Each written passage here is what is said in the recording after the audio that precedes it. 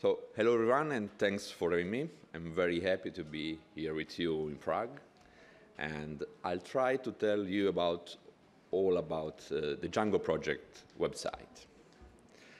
But to be more precise, I want to tell you all I know about the Django project website.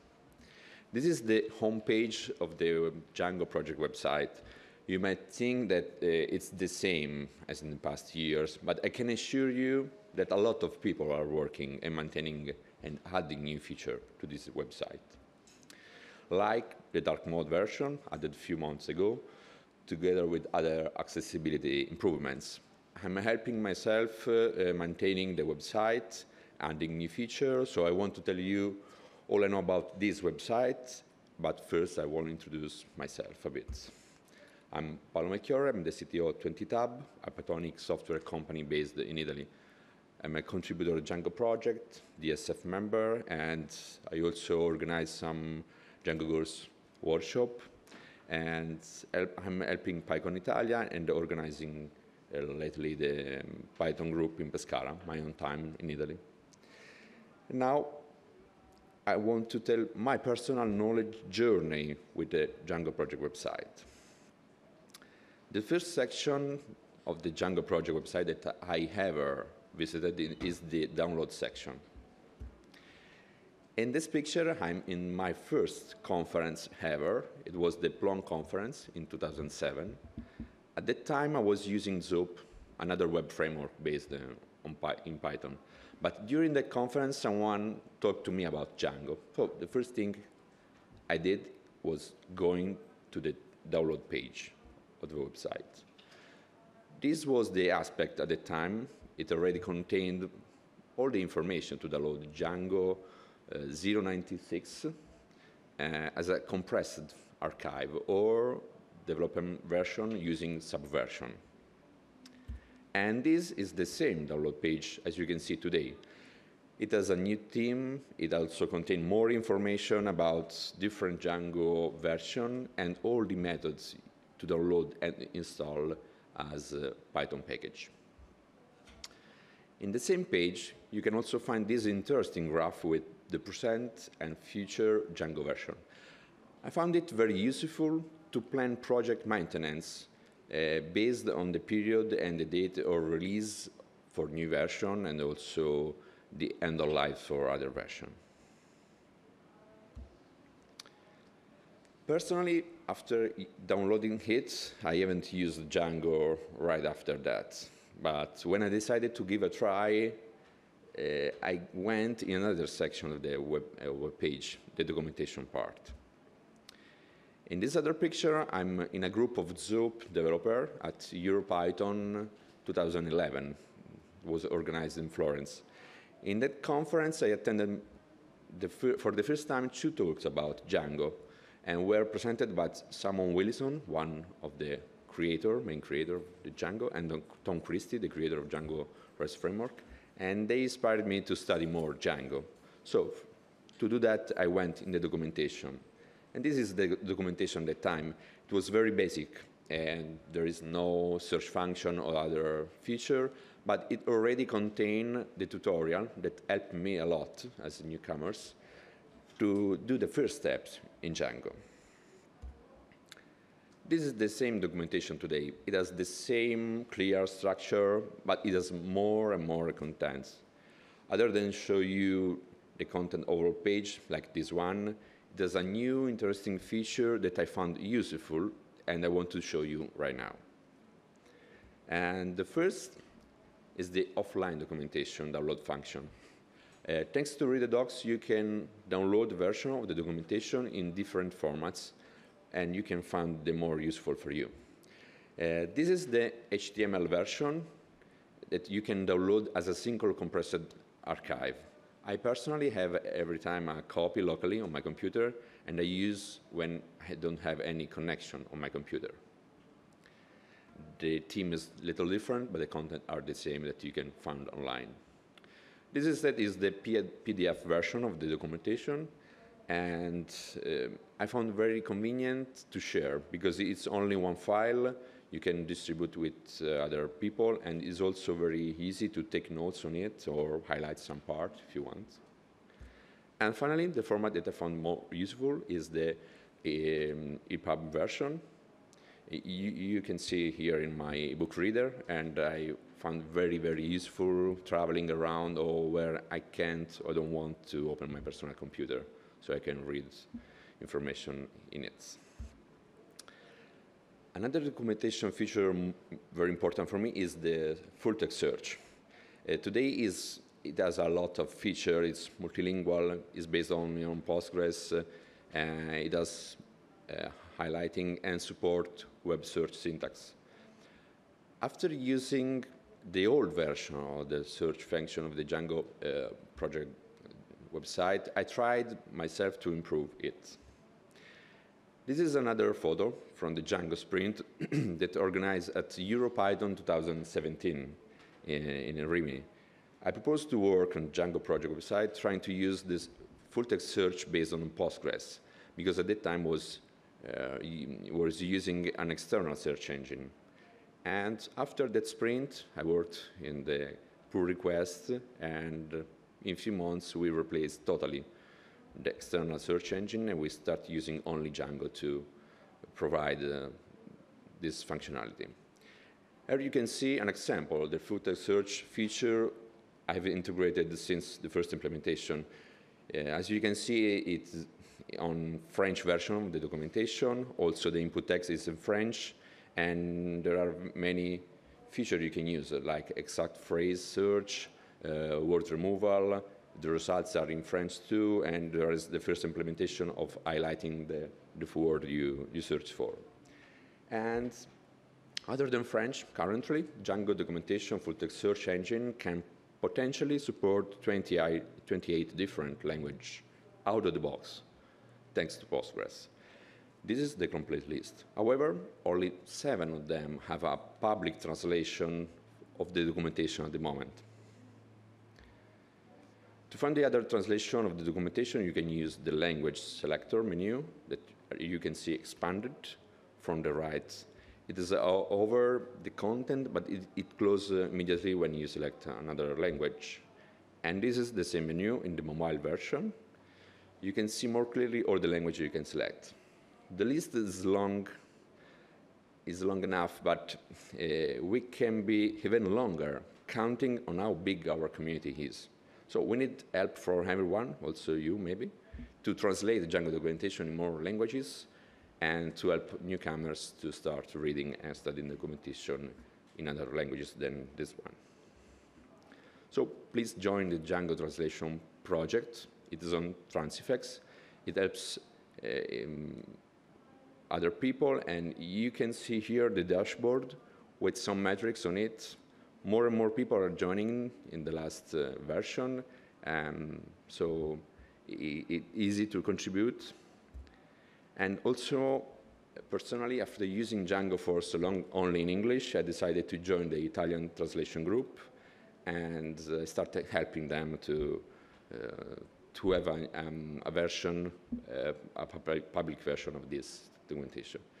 As you can see, the process can be also fun to, to contribute, and it's very, very um, interesting. I learned a lot trying to translate things I ever read only in English.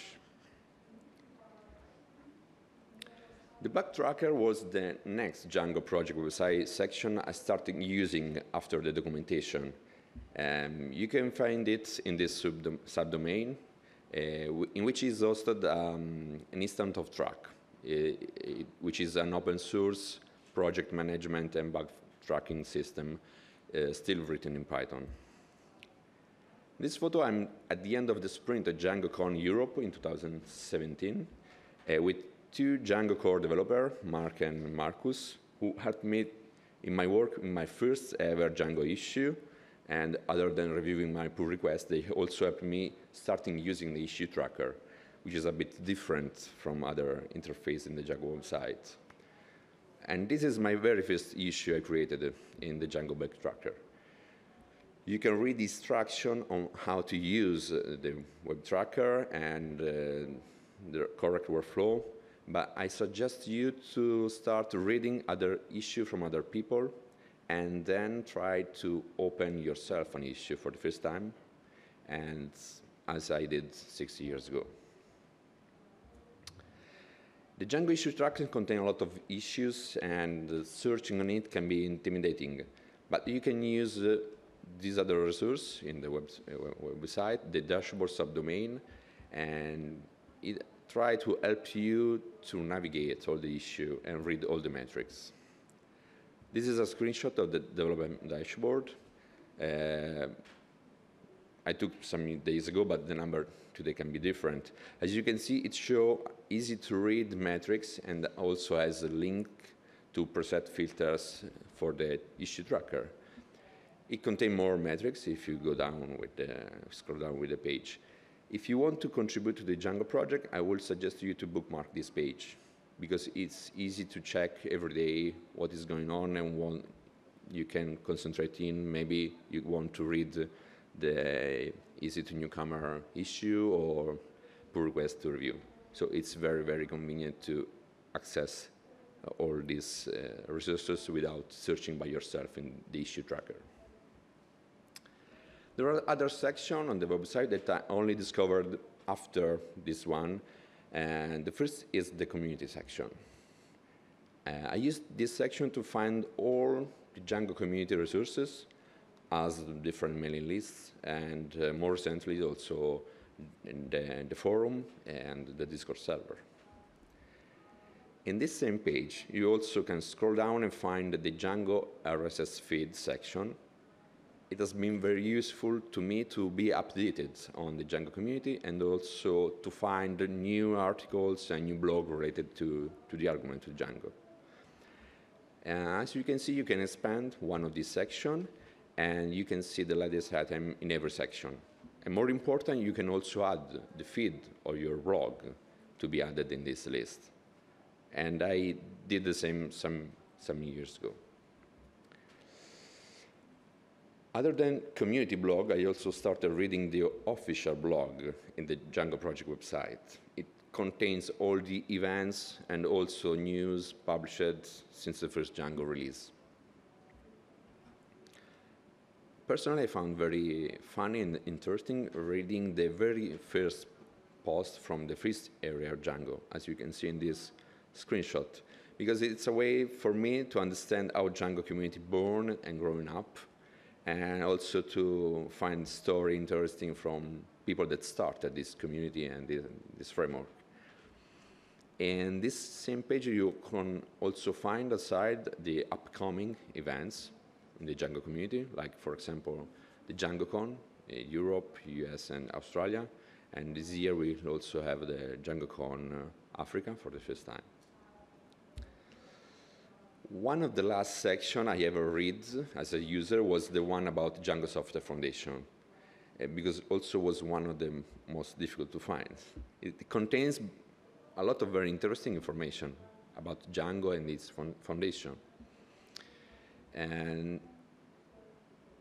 I found this page late in my career as a Django user, um, but then when I found it, I learned more about the foundation, it, its goal, and uh, I found also the list of people involved, the member, the board, and unfortunately, it's not well organized and a bit difficult to, to navigate.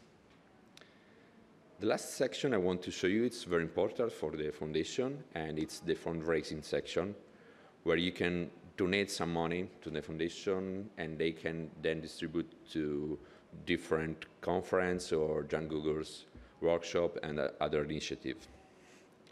In this section, you can find the list of all the sponsors that donated and uh, you can also donate uh, uh, if you want. Uh, you can also do a one, uh, one-time donation or recurring one. And also, the user experience in this page is not the best one. You can also try donate in the GitHub section. Um, but we are trying to uh, work on this on this page, and we are doing something about that. I took this picture during PyCon Italia, uh, 2000, uh, 2023 in Florence. Uh, these are two of my colleagues, Laura and Virginia, and they gave a talk on the work we are doing to improve the DjangoProject.com. They are both experienced UX designer, and they helping us analyzing the situation on the Django website from the, their point of view. Uh, during the last DjangoCon US in San Diego, um, a former Django fellow, Carlton and Will, the treasurer at that moment, asked me as a CTO of 20Tab to help the foundation to improve the user experience the, of the website. And we were ha happy to, to help. So our user expert did the analysis in few steps. They browsed on the website, looked for things that can be improved, and they did a lot of analyzing uh, on, this, on this part. They made a report with results, and the most prominent were the most prominent issue were related to accessibility, um, call to action not uniform, navigation flow uh, disrupted, and also inconsistent breadcrumbs. So after analyzing it, we decided to open a survey and interview people from the community. So the first step is just the user survey. And my colleagues, Virginia Laura, made this survey after the analyzing work. I strongly invite you to scan this QR code and briefly answer the survey question. It will only take very few minutes, I think two or three minutes. You will only find question on your experience in this website and also with all the section I talked to you about, the donation one. And your feedback will be very useful to the Django community and this foundation to improve how we can let people have a better user experience and help them to find the information they want. So please answer and uh, contribute to this, to this project. And the last photo is from DjangoCon Europe 2022 in Porto. I am here with Chol and Sarah, two very con active contributors in the Django project repository. Um, the GitHub repository was the main point to contribute to the Django project website, and uh, I started doing it some years ago. So I invite you all to go there and start reading some issue you can be interested in. You can also try to take in charge some of this issue. A lot of them are very, very small. And also you can propose a pull request to fix some of this issue because any help from the community is very, very appreciated. I hope I have been able to tell you all I know about the Django project website. And if you want, you can download this presentation uh, because it's released with uh, a Creative Commons license, and I'll share you the link in a in a minute. So as a 20Tab, we'll share information about our contribution mission with the Django website, and you can find out more about our company using this context. And to find out more about my personal work on Django, and also to download this, this presentation, you can scan this QR code, or you can contact me in this context. So, thanks.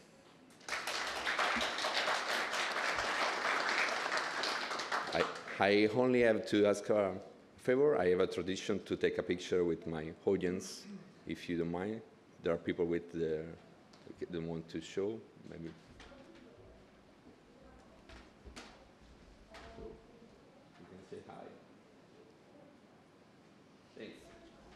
Thank you, Paolo. Now we will have our five and maybe even a little bit more question and answer section. Please stand up, you here, ask your questions. While you're thinking about your questions, maybe I can ask Paolo. Uh, I'm tech community manager. I'm not writing code by day right now. Is there any way I can help? Yes. For example, uh, answering the survey, it will also very useful to um, understand how people can enter the website, maybe searching not technical stuff like about the foundation, the um, events, uh, how money are spent from the foundation in uh, some uh, initiative like Django Girls or similar, and you can also help opening issue. For example, if you find something that is not working properly in your computer, in the website in particular, or maybe you can find some accessibility issue that are very, very important for us. We are trying to um, improve in these aspects uh, to let also everyone to read the content and to also um, you can read for example also the meeting report from the board because everything is open also the uh, how we spend money and there are election about it you can find story and blog post news so there are a lot of not technical stuff that you can find it or you can try to improve Thank you. Happy to help. Anyone else?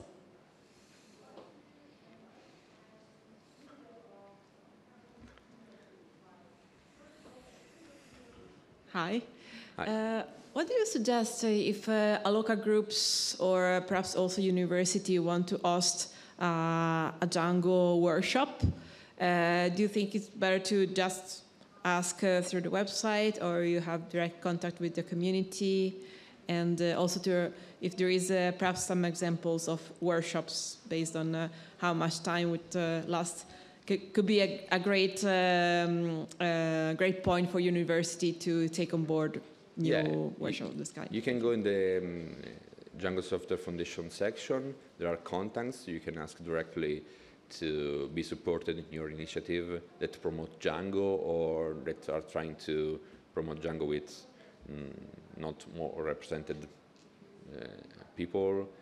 It, it- it's very common to organize Django Girls workshop because it's, it's ready to use. You can download the guide. Uh, everything is is uh, prepared. There is every step for people. But if you are organizing a, a local meetup, um, for example, I joined the Django Day in Copenhagen last year, and they did something very similar. The foundation are open to uh, every initiative. So let's let's try to ask. Great, thank you. Thank you. Hey, thanks Hi. for this talk. Uh, just curious, uh, how many people are actively working on the content of documentation of Django? I imagine it's a lot of work with all the security fixes, for example, need to be synchronized with older version of the documentation. And yeah, Yeah, usually the documentation is uh, um, something you have to add when you modify something.